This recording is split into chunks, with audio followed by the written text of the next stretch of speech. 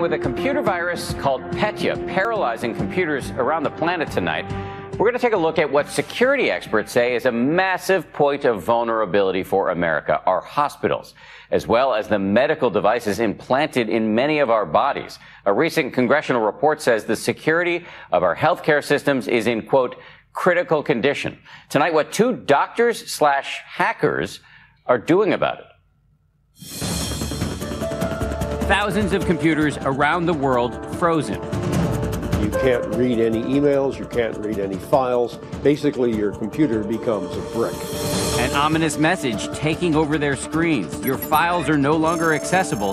Send $300 worth of Bitcoin. Sometimes, if you pay, you get your data back. Sometimes they just take your money and move on. The global ransomware virus, known by some as Petya, that first took out computer systems in Ukraine, has now spread to the U.S. Among those hit, computers in hospitals near Pittsburgh. She called me and said surgery was canceled because the computers were down. This after just last month, a worldwide cyber attack by a ransomware virus called WannaCry shut down 65 hospitals in the UK. The virus reportedly affecting not just computers, but storage refrigerators and even MRI machines. This photo, given to a reporter from Forbes, reportedly showing a Bayer MRI hacked by ransomware. The company said it put out a patch for the devices. And last January, Hollywood Presbyterian Hospital in Los Angeles paid out $17,000 after hackers took control of its computers. It was just odd though being at the hospital because all the signs said, you know, do not use the computers. I'm like, what's going on? And they said, well, uh, we got hacked. Cybersecurity experts now say this problem is getting worse, with hospital computers and medical devices becoming potential targets for hackers. We went from being prone and prey with no predators to the number one targeted industry last year in less than one year. So our relative obscurity is over. His pacemaker can be wirelessly accessed with that number. It seems like something conjured straight out of our Hollywood nightmares. Remember that iconic scene from the second season of Homeland? Call doctor. I don't think so. Damn. That TV fiction, researchers say, could now become fact. I'm killing you. The potential threat was concerning enough that some years ago, former Vice President Dick Cheney had the wireless capability on his pacemaker turned off. Have you ever had a high heart rate before? We need to intubate. To combat this problem, doctors, security experts, and government employees recently converged upon the University of Arizona and Phoenix to witness the first ever simulated hack of a hospital. The event was organized by Jeff Tully and Christian Dameff, both doctors here. They're also both self proclaimed hackers. When you say a hacker, everyone instantly thinks about darkly lit rooms, hooded characters that are nefariously typing and hacking the Pentagon. There's a lot of great hackers out there. They do good. When they find vulnerabilities in systems, they fix them. What here is vulnerable to hacking? Well, anything that's plugged in. Why are devices like pacemakers or ventilators, why are they connected to the internet at all? Because there's incredible functionality that can be used to the benefit of our patients. Pacemakers can connect to a device at home that monitors the rhythms of the heart and are able to send that information to doctors. These things are good for patients, and we don't want people turning away from the promise that these types of technology have. Hence today's simulation. Do you have any idea what you're in for? I don't. They've been very secretive with us. These doctors who have agreed to participate in the simulation have no idea what's going to come through the door.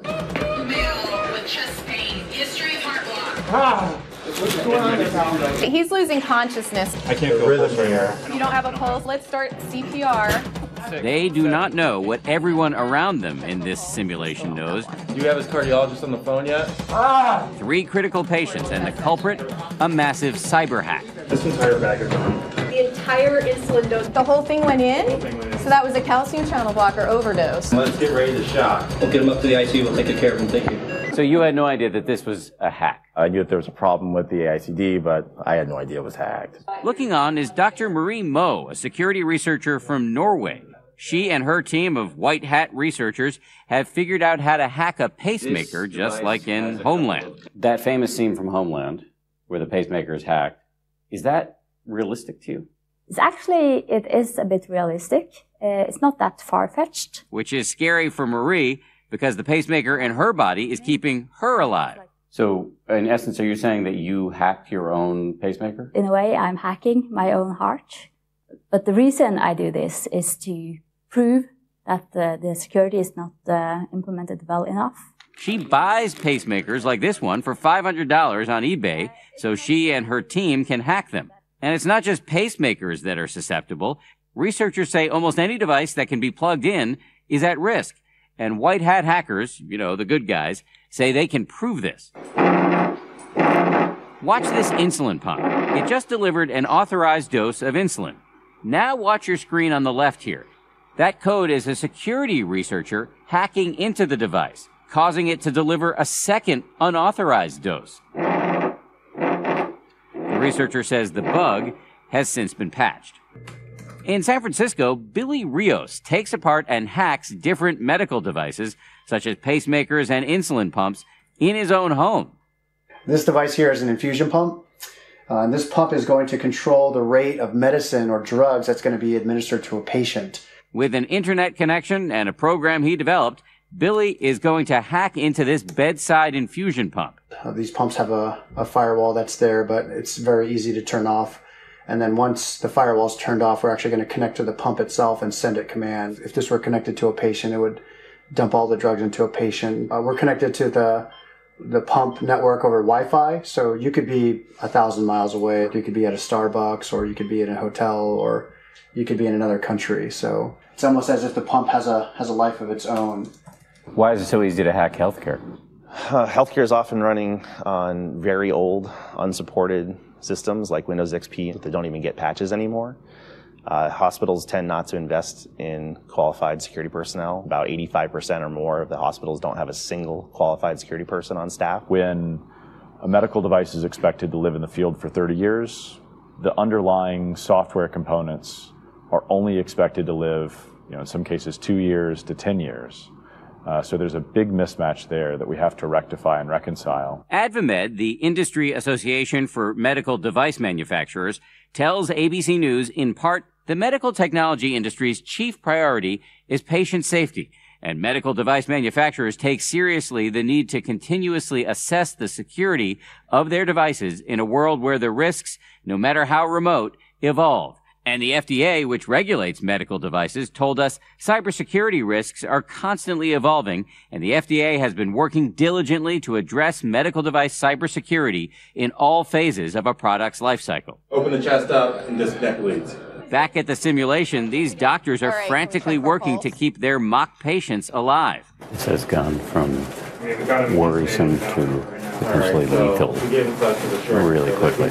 In the final test of the day, everything that could go wrong does. A patient with a pacemaker. It's been hacked. Making first incision. Mm-hmm. Yeah, I feel the ICD. Okay, pacer leads cut. That's his native activity right now. Okay. All of the pretend patients in this simulation, even the surgical dummies, lived thanks to these doctors. And while there aren't any known cases of illicit hackers manipulating somebody's pacemaker, Jeff and Christian are taking no chances. You guys ever look at each other and think, you know, it's not bad for a couple of hackers who've gone on to perhaps save a bunch of lives here? I think our parents are just happy that we're not in jail. Thank you, doctor. Good job. Appreciate it. Thank you. Thank you. They're gonna go want to go talk to you. No. I love you, but no. Maybe next time, Jeff. Okay. Although, if these hacker doctors succeed, perhaps there won't have to be a next time.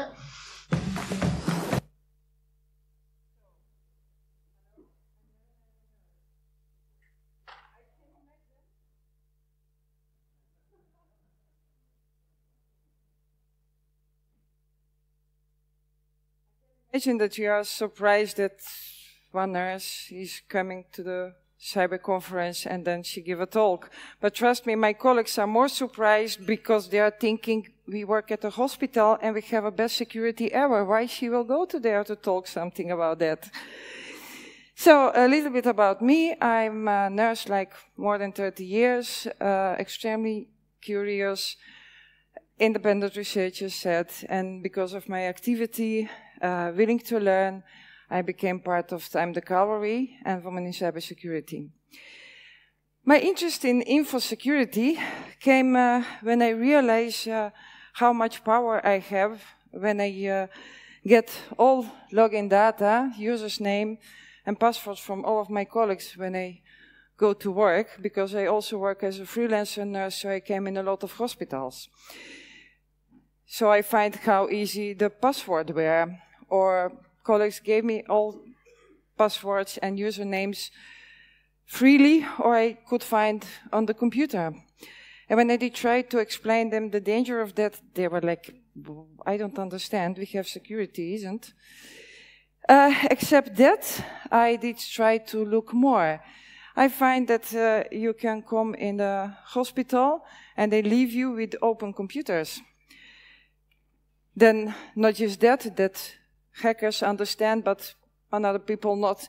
You can see how they run old XP Windows or the infusion pumps they are open without that anyone realized that we need only one device to be hacked and to dis disturb work of the whole hospital. Also, we have security like this. and except that uh, you can find all instruction about how devices work on the internet, you can find also things like this. So I like Twitter because I follow a lot of researchers and I find a lot of nice stuff about that. Now, what we need to understand is why the hospitals are so interesting for the hackers and for the criminal hackers. Uh, hospitals have more targets, more victims than one individual. Sorry, you have the data, but you can also go to find something special what you want to do. About data, a lot of data you can find online because all of the hospitals have medical records connected on their site so patient can log in and find the data. So they have links with medical records. They have links to pay and donate so they can find your login for uh, paying. And they have a link for, for professionals, but also for employee. Medical records uh, they have, except medical data, they have personal data and they have payment data. So when someone gets medical records, it's not just medical data, it's much more. Let's see and think who wants to have medical data. The uh, about uh, research from High uh, MSS uh, from 2014, it came out that 80% was work snooping. So companies needs to know and wants to know what is medical record of their employers or future employers even. Then you have financially or medical uh, identity theft. You have personal snooping, cyber terrorism, black marketing, whatever. And what I hear miss is marketing snooping. Because uh, a lot of companies wants to know what is your problem so they can sell you product you don't need or many times you don't need it but they want to sell you so they want to know also that because data are online and i'm not at tech i did uh, try to look how is how is situation about sites of the hospitals and i start to look with 97 hospitals in holland and then i find later one side with 100 greatest hospital in US. So I was like, okay, I will go to look. Simple things. HTTP, HTTPS. Do they have SSL certificate or not? How is situation about IPv4, IPv6, And I did use also Observatory by Mozilla. Why I find sites of the hospitals important? It's easy. And if site is not good secure, then you can find login from employee. When you can have account uh, and account data of uh, employee, you can go to email. When you go to email, you get email from all employees in a hospital. And that's not problem that we can say that's not a problem. If you send some nice phishing mail really smart phishing mail, then you can take control over PCs at home, but what is now important is at the hospitals. And when you take control about computer at the hospital, you know self what you can do. You have medical records, but you have also control over medical devices.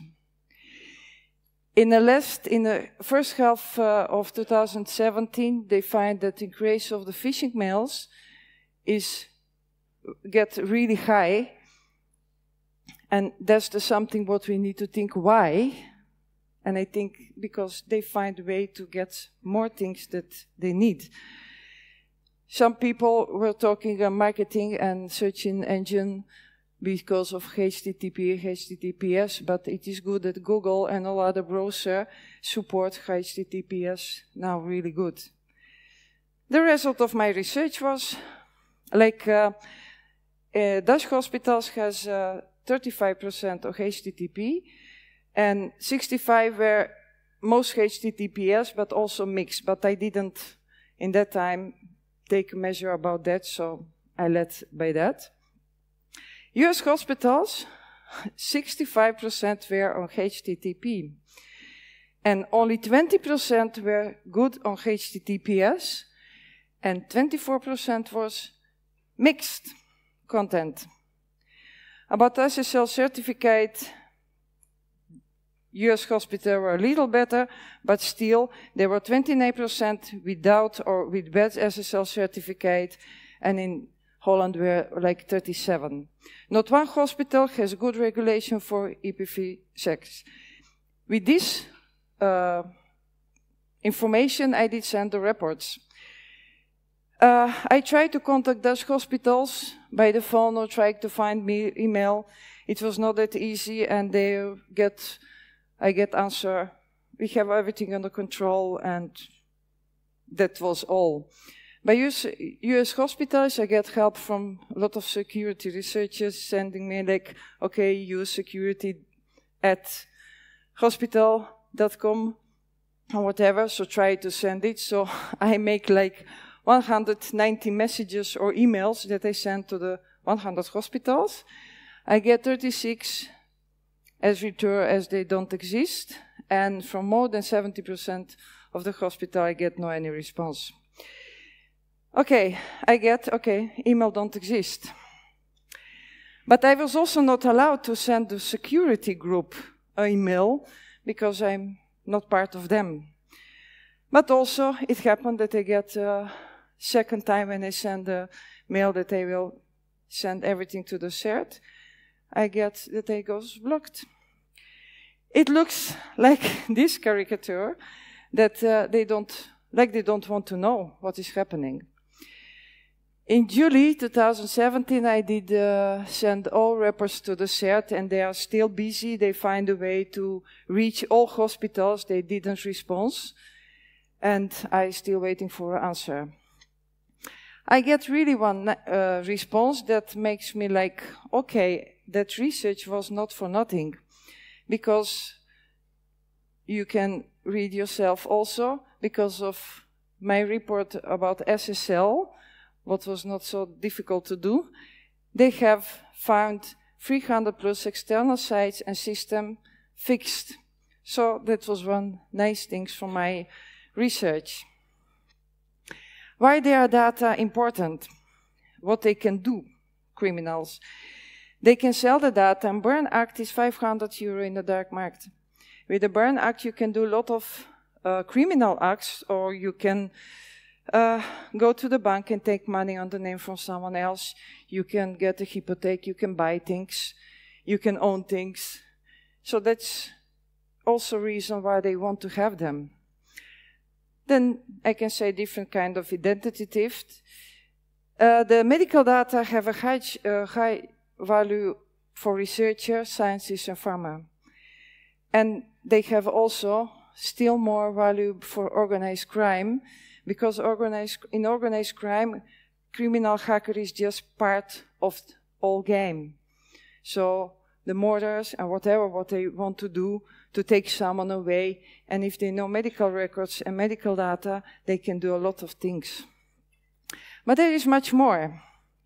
Because when people, as I said, 80% are companies, they want to know future employer or employer that they work at that moment there. So they can do a lot of discrimination, private or at work, because of disease, of chronic disease, because someone who have diabetes or someone who has uh, some psychical, uh, mental problem before, it can cost more than someone who is totally healthy. They can also look for a gender or religion or race or even a sexual orientation and make discrimination on that point. And they also can make some future profiles. We have also targeted a, segment, as I say. The patient self, uh, there are many reasons. So you can go to uh, one patient wants to kill him, wants to harm him because it's old and still live and I cannot get money from them or whatever because that's also things that are happening. You can try to find employer because there are a lot of patients they are not satisfied about work or in the psychiatric hospitals, they are suspected too much, so they think that we are doing bad things to them while we're trying to help them. And I really wouldn't like that they know my address where I live. And when I talk that to my colleagues, they are like, oh yes, sure, because they are running behind us on social media, try to make contact, whatever. So that's also what they don't want to have. But also we have a problem between each other in every big company for sure you have concurrence you have people that don't like you. And some people can be ready to do some bad things under your name. So there are a lot of reasons that employee can be targeted. Or can hospital be targeted because also family don't like how you treat them or concurrence or whatever so you can or shut hospital down so make financial problem or you can steal the data research whatever you can imagine. Except data, the problem, the second problem that is also really big, and it's also about targeting data, special for a patient, is that you can take control and manipulate computers or devices. And if you can manipulate that, and if doctor and nurses cannot trust their results, they cannot work. Now, one of the next problems our devices. Few weeks ago was this uh, tweet, ECG device with a Game Boy inside. that reminds me about one story uh, from a few years ago that, um, you know, before we could uh, download the movies in a night shift, you know, and look the movies because patients sleep, okay, what you are doing, okay, you stay awake and look movies. So we can download it. And that uh, board didn't find it good, so they shut it off. So we couldn't download it anymore. But then came a story, and I trust that story now for sure, that one nurse was so nice and so smart that she used the medical device, ECG device, to connect to the internet and download the movies. So we get, we have the movies.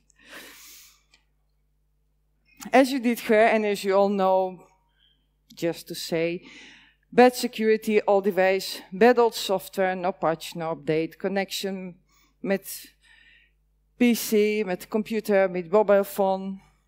And even some new device give good security, what I believe that vendors are doing, when you connect them to internet, I ask myself, are they then, then secure if they are 24-7 on internet and you can read your private mail or listen Spotify during the operation.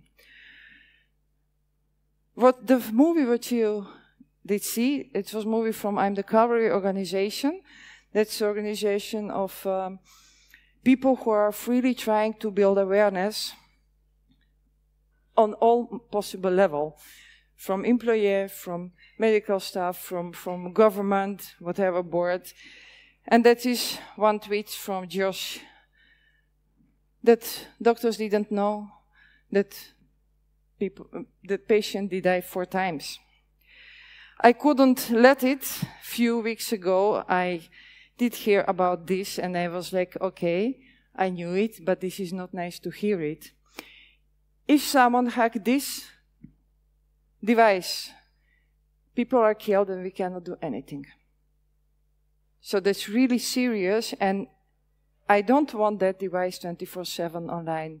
And I ask because it's transportable and we have re, uh, reserve of that, send them and not connect to the line online. Even ICS CERT have in his advice about every report they send to the vendors about some device, that medical device and our system ensure that they are not accessible from the internet, not 24 7. And also another, what are more technical things. As I said, not connected online, but okay, we need to have medical device connected online for a patch, for update reparation, because that's good thing, but not 24-7. I had some discussion with some vendors about well or not online, so we ending in a circle. Yes, but it will be online, it will not be online.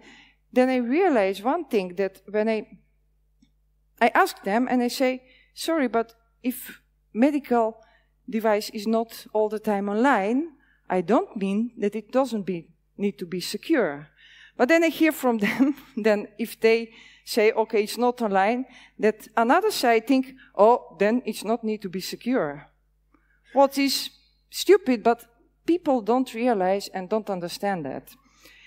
So, that is, okay, sometimes online only when we need it. About device and everything else, my opinion is, and I hope that you will uh, support it and try to send the message also to the vendors, to everyone.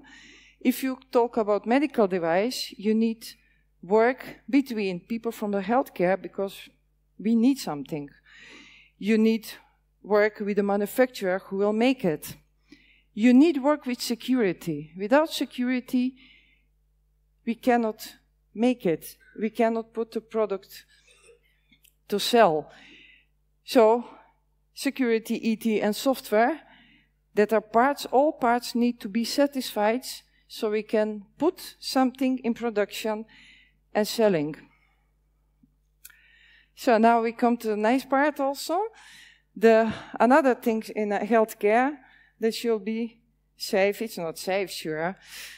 Another tweet from someone who understands things and understands tech, so he sees how, unsa- how unsafe it is.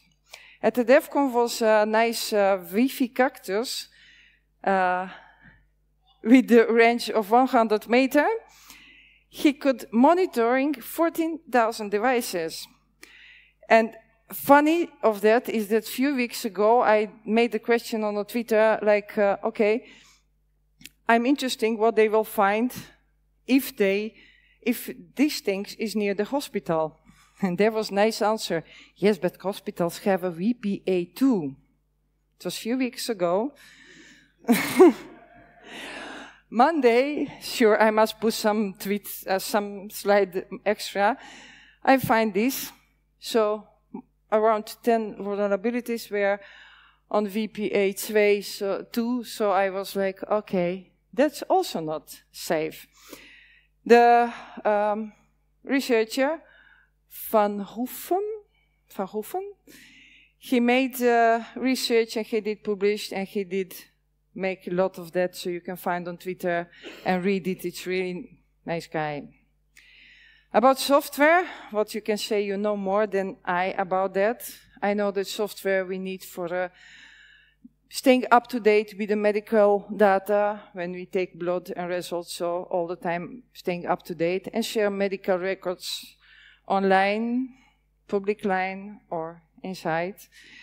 And device, uh, for devices, we need the device can work and also connect to the public network. But I'm not finished with the problems.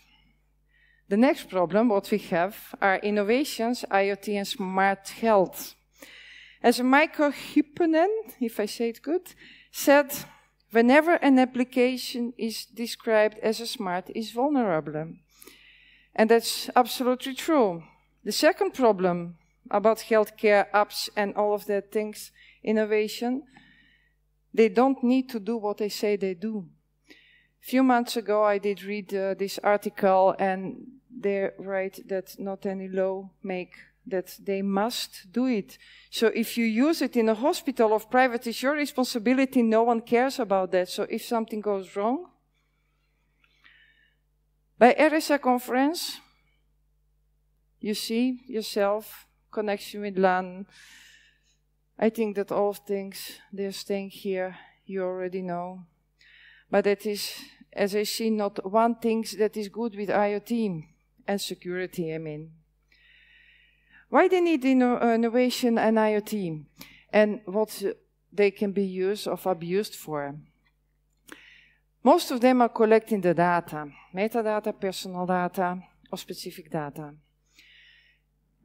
They can be really nice abused. For sure, for the marketing. It did, uh, at the DEF CON was very nice talk. What happens when you tell the internet that you are pregnant? If you search on Google that text, you will read nice story about a woman who wanted to get pregnant, so she took like 10 apps about pregnancy, and then later with a ch- child, one comment was, if you don't want to get pregnant, please don't use this app. And that was up to find when you can get pregnant. He's not trustful. It's really nice talk and really nice uh, story so you can read and understand. IoT, as you know, can you be abused for a DDoS OS attack. Because one, uh, in, when WannaCry happened, I'm not sure, is it now something more? There, are there some more information about was it using the mail or was it also using the IoT devices? And you can also manipulate the data that I already mentioned and working of IoT of application. Then I ask myself, do we really need all of them? There are always some nice things that we can use, but also in that case, we need to be to make them secure.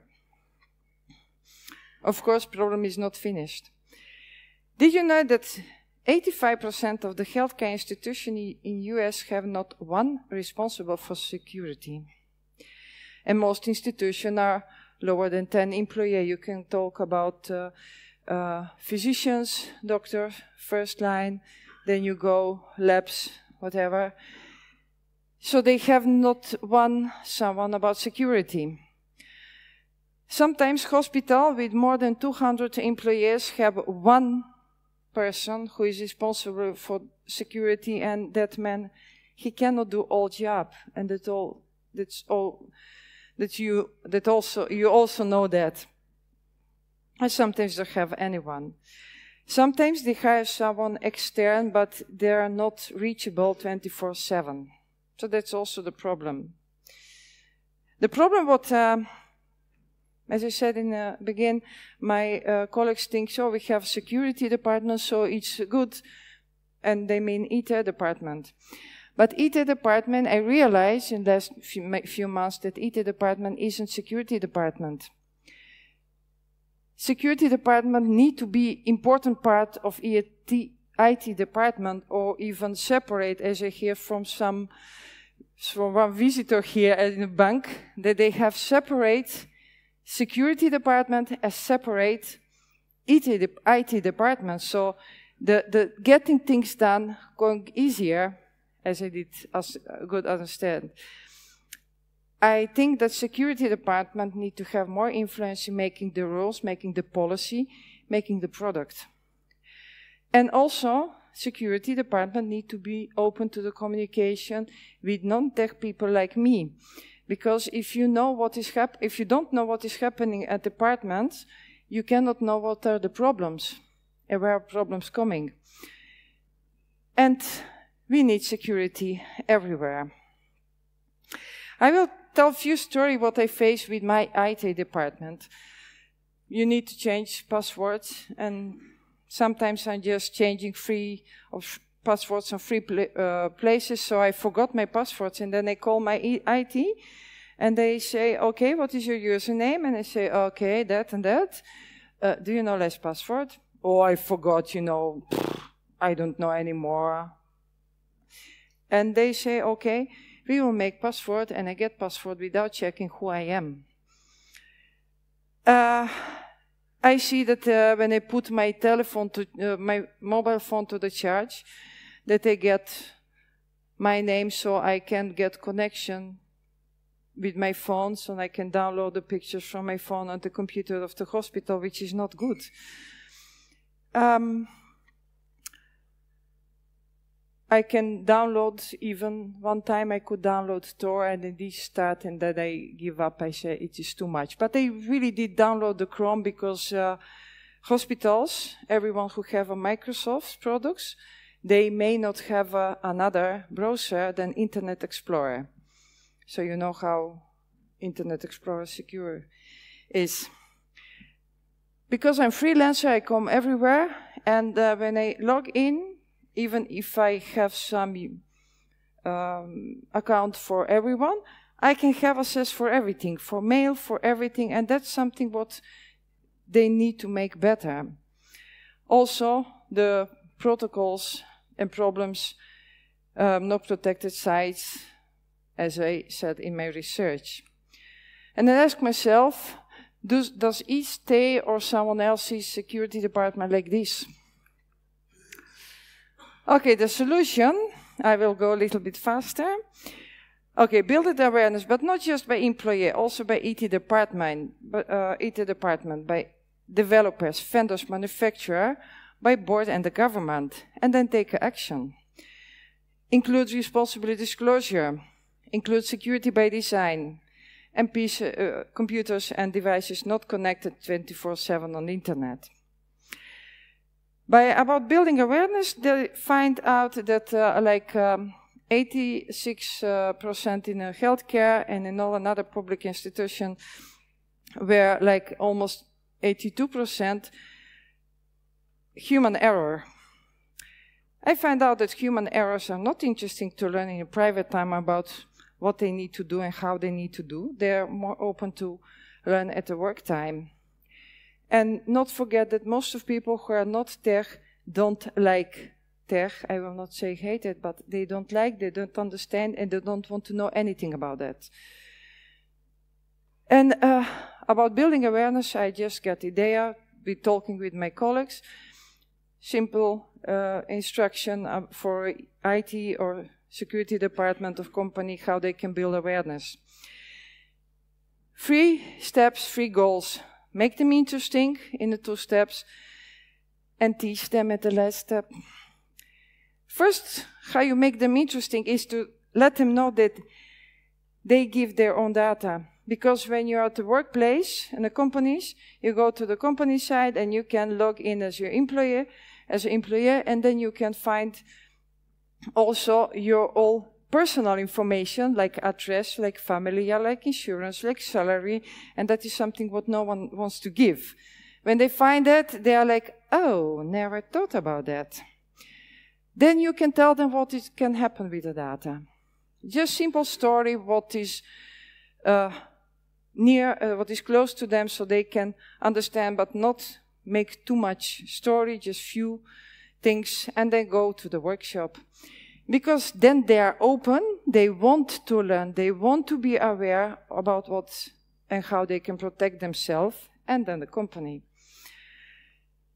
The tech trainings are a lot of time too serious, too tech. I understand that people from IT or security like to explain all the tech things, but as I said, they don't like tech, they don't understand it, they think they must do all of their things.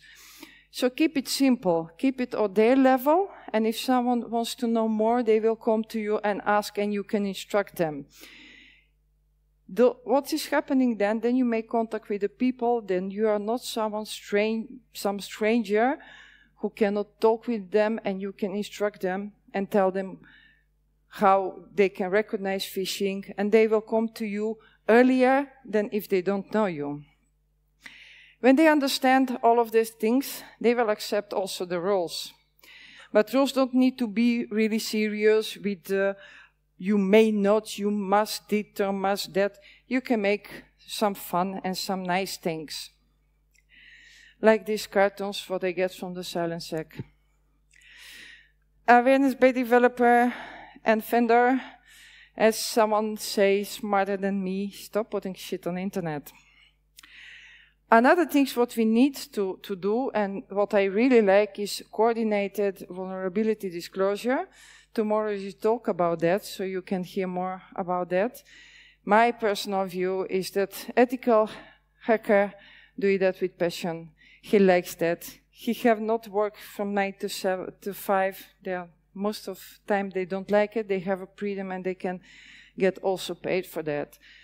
For hospital vendors and manufacturer, they get monitoring. They can get easy help because they cannot have 24/7 monitoring all the time if they with their employers they don't need a lot of people who work for them and that's really expensive and they can pay them when they find something or when they repair something and as one security uh, officer from one American hospital said, I can get coordinated assistant.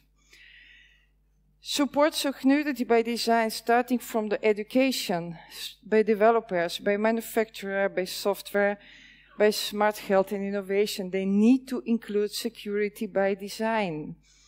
And what we also need is much better organization. All these things you already know.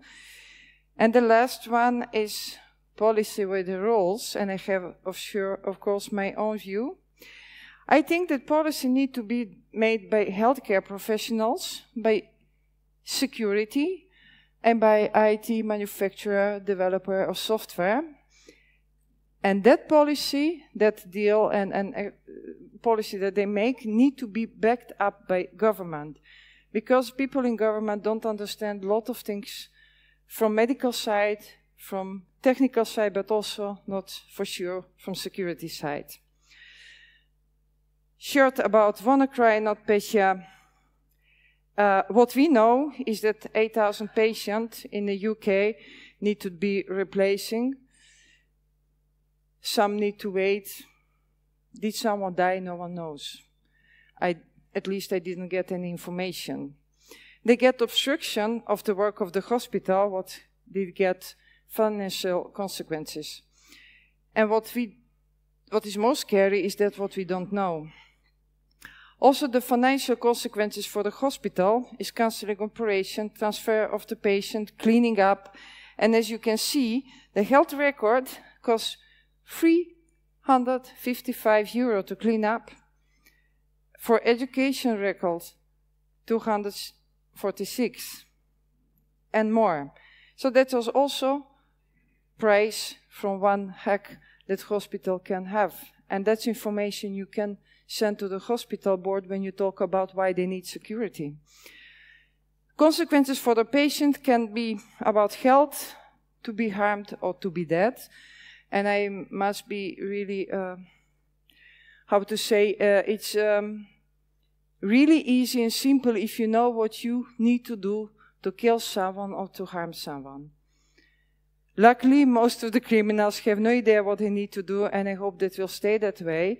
But what I would like to make that you talk with the doctors too, and to explain them, in, and they will understand why they need to have security and to support security from their side.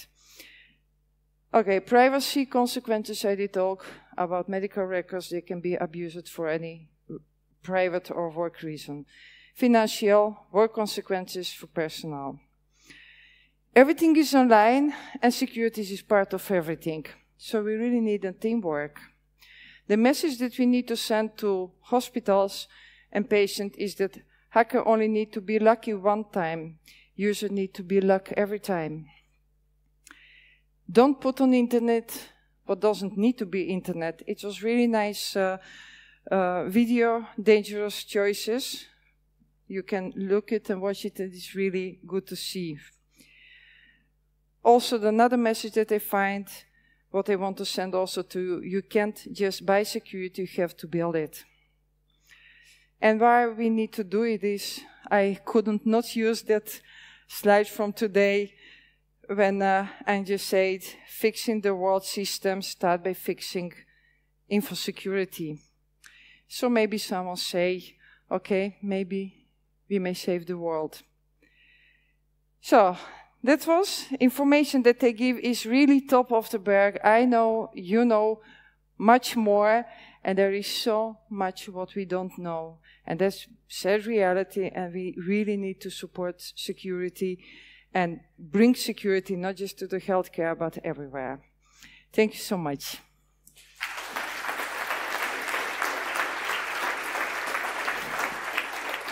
Okay, thanks very much, Jelena. Uh, a hugely important thing which affects us all. Any questions? Or would you just want to drink now after? I believe. after seeing You that? can also ask me later or tomorrow or Friday. I'm also here. Hello, Theodore from Enisa, but commenting on uh, personal capacity. Thank you very much, first of all. Uh, it's interesting to see what's happening, and um, I will comment that IoT, I believe it's a, an ID problem. It's nothing else. Because these devices were rushed on the market, people care to sell very fast. Um, they rush them on the market, they don't care whether this will be maintained in the future. They just want to sell, sell, sell. But for health sector, they forgot, vendors forgot that safety and security are best brothers. Yes, exactly. You did uh, use really right words. Safety and security are together. We need to have that.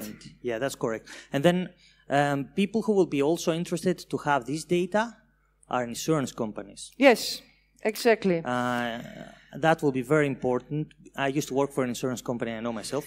I know because if uh, uh, I didn't mention it because I don't know a little bit, um, maybe too much information. Because when insurance know exactly what you are doing, they can make that you pay more insurance. Okay, that's some information. Thank you that you told it. Uh, I go deeper in all of thinking. When patient get a problem, financial problem because medical data are online, then they will be scared to tell to us information that we need. And if patients don't tell us all information about them, also even when they're doing something wrong, or what they, we say, don't smoke, but they smoke. But when they have a problem, if I know that they are smoking, I will know what we need to do. But if they don't tell me, I will go totally another direction and I will go with a bad diagnostic, a bad treatment, what is also not good. So that's, if we don't protect medical data, we can get also that problem that patients don't tell to us everything. And if they are not honest and open and don't trust us, we cannot work. Yeah. And that can happen because of insurance. That's true. And the second comment, um, GDPR is coming in effect early next year. So, so we speak about the General Data Protection Regulation. It's a regulation that had a preparation work of about 20 years in Europe. That's pretty big time. And it's going to affect health sector as well.